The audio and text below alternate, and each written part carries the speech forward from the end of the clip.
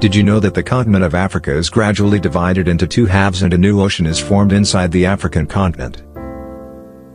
About four years ago, this rift between the two halves has been gradually expanding and expanding until it will divide the continent into a small eastern part, as you can see, and a huge western part, starting from the Gulf of Aden and down to Zimbabwe. The tectonic plate represents the Earth's crust that holds the continents, especially the continent of Africa for some reason.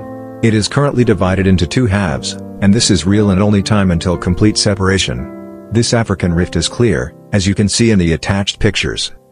After several years, the African tectonic plate is divided into two, one Somali and one Nubian, according to previous predictions. According to the Kenya Broadcasting Corporation Cooperative, there is widespread shock among scientists at the possibility of the formation of a new sea on the African continent. It's possible that a sea is already forming along the eastern arm of the African Rift Valley, said Edwin Dent, a geologist at the University of Nairobi's College of Science and Technology. Dindi explains that tectonic plates are in a state of constant flux, with some shifting against each other along fault zones, while others falling under each other, and others colliding with each other, he says.